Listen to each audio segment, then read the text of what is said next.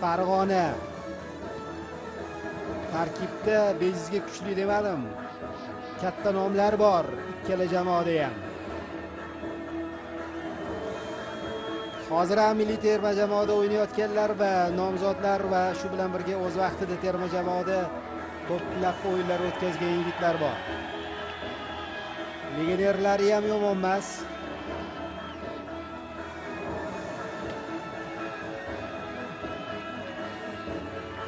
Qarang. Neftchi muxlislarni bayram qilishyapti. Hakamlar futbolchilar bilan. Hozir sardorlar bilan qur'a jarayonni o'tkazishadi. Hozir neftchi muxlislarini e, bilasizmi bizga bir ko'rsatsa yaxshi bo'lardi. Ular alohida tayyorgarlik bilan kelishgan. Ha kuzatdik qo'llarida sharlar edi. Hozir esa e, ajoyib atmosfera tashkil etishyapti ular o'z sektorlarida demak farhod usmonov ko'maklashadi. Zaxira hakami akmal rahimov var hakami rustam lutfulin var yordamchisi rishad nugmonov nazoratchi rustam sirajidinov komissar sherzod rajabov. Okmk tarkibi e'tibor bering to'rt uch uch taktik sxemada o'ynaydi jamoa. Bugun qosimov e, e, o'sha qatardagi uchrashuvda o'zini ko'rsatgan ko'plab futbolchilarga boshlang'ich tarkibda imkoniyat berganligiga e'tibor qaratib ulgurdingiz. Bu esa mirjalol qosimov o'yinni jiddiyligini biladi va o'sha al arabiyga qarshi uchrashuvdan keyin aytib bo'ldi sizlar vaqti kelib tushunasizlar butun o'zbekistonga quvonch ulashdingizlar tarix yozdingizlar lekin bu o'yin ortda qoldi hali oldinda o'yinlar bor deb birinchi galda mana bu neftchiga qarshi uchrashuvni yod e, nazarda tutgan bu aniq. Qosimov shunday deydi o'zi har doim matbuot anjumanlarida e, intervyularida har bir o'yin final bo'lishi kerak. Istalgan o'yinda jamoa muxlislar uchun o'ynash kerak. Futbol shunday. Ortga yo'l yo'q faqat oldinga qarash kerak deydi. Bu murabbiy esa vitaliy levchenko har doim e, maqtalyapti. Unga ta'rif berilganda kuchli mutaxassis deb yoniga qo'shib qo'yilyapti hamkasblarimiz tomonidan va bu shunchaki emas. Natijalar buni ko'zguda ko'rsatadi. Chunki o'zbekistonda faoliyat olib borayotgan murabbiylar orasida neftchi ustozi hozir juda katta mavqega ega. Neftchini tarkibi o'rtadan yaxshiroq juda kuchlilar uchligidan pastroq lekin e, beshligidan ham balki pastroqdir bilmadim. Har qalay to'rtligidan deylik.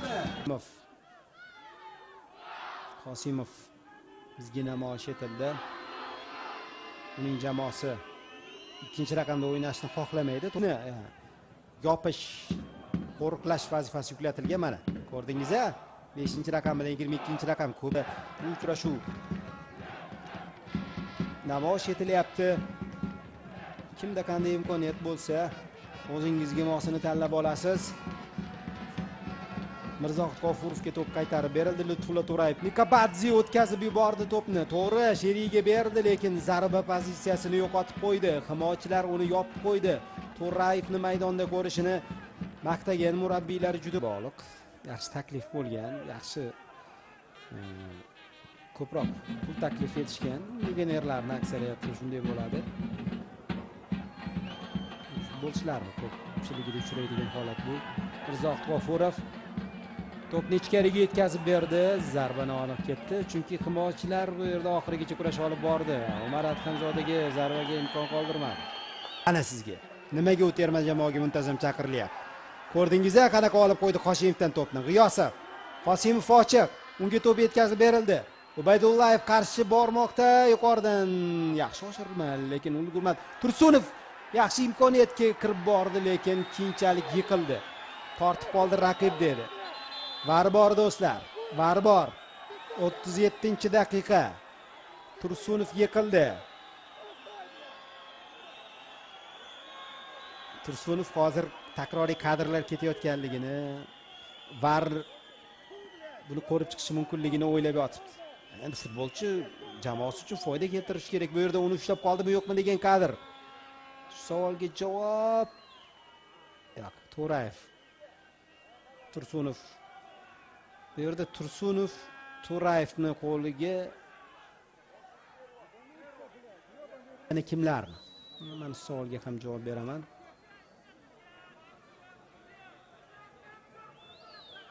Varni ko'rib o'tirmasa kerak. Tashqi bu holat uchun shunchaki suv ichib olish uchun imkoniyat taqdim etilyapti. Ko'rmoqchi barini hmm. men fikrimni aytdim do'stlar. Hakam maydonda hal etadi. Men esa o'zgartirmayman do'stlar. Aytib bo'ldim. Takroriy lavhada tursunov birinchi qo'lini o'tkazib olgan.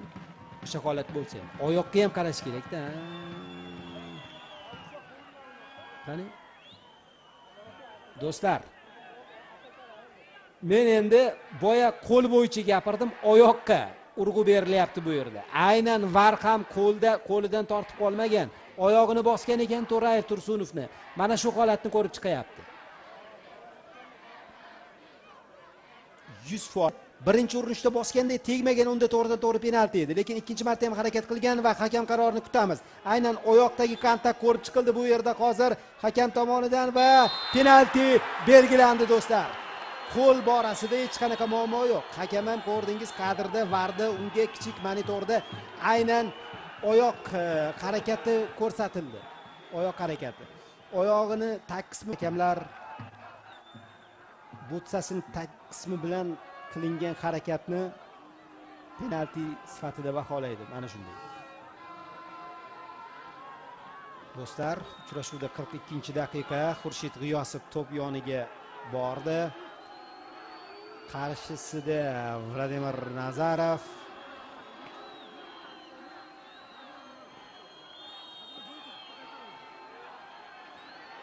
Lekin bu to'qson to'qqiz foizli imkoniyat.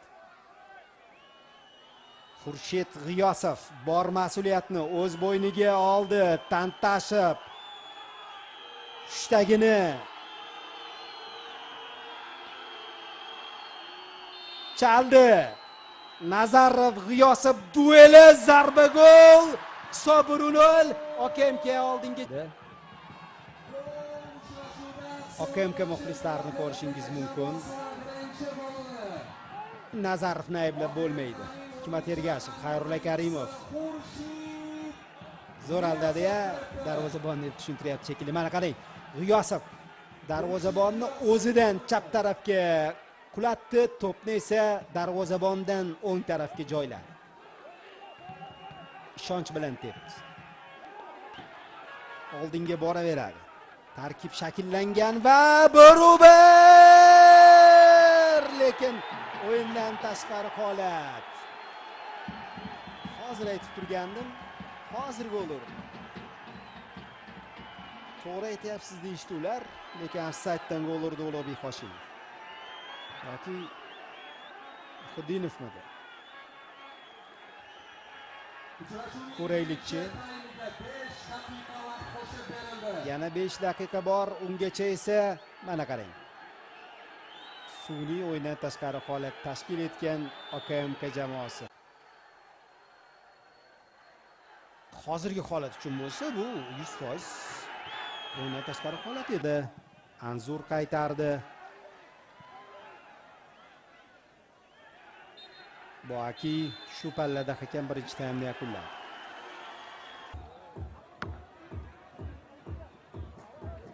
yog'dirildi muxlislar tomonidan mana shu hakamga birinchi taymdagi qarorlar uchun endi bu muhokama qilinadi. Keyinchalik hakamlar qo'mitasi ko'rib chiqib izoh to'xtaxo'jayev ikkinchi bo'limda to'xtaxo'jayev markazda emas narigi qanotda o'ynay boshladi. To'pga o'ynadimi?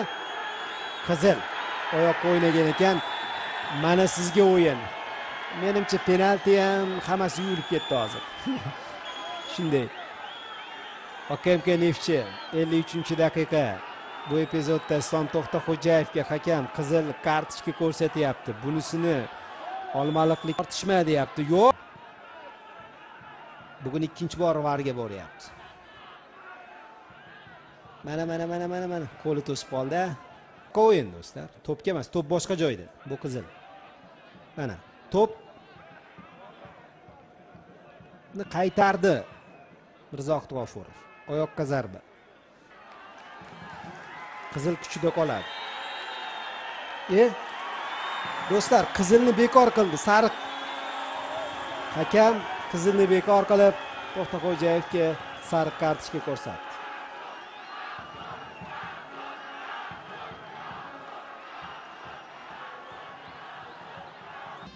Va neftchida imkoniyat bor hozir. Turropov ko'tardi anzur qaytardi. Keyingi hujumni ko'ramiz. Hujum bo'lsa. Va turropov mana neftchi mana zarba va ichkarida yuqoridan to'p ko'tarildi va hozir gol bo'lishi mumkin. Bu ruber! Muhsinjon ubaydullayev! Neftchi! Bugun to'pni qaytardi mana shu joyda. Akrom bilan kurashda ubaydullayev oxirigacha intildi va to'pga oyoq qo'yib ulgurib yetib bordi. Oyoq uchi bilan kurashni davom ettirdi va to'pni darvozaga kiritdi. Anzurni oyog'i ostidan to'p o'tib ketdi. Yerda anzurni yerdagi to'p bilan o'ynash qiyinroqdir. Lekin bu yerda anzurni ham ayblab bo'lmaydi chunki to'p ubaydullayevni oyog'ida edi. Barubar ha bu mavsum neftchi yutqazmaydi deb hech bo'lmasa bu o'yinda yutqazmaydi deb baqirdi mana shu futbolchi hozir.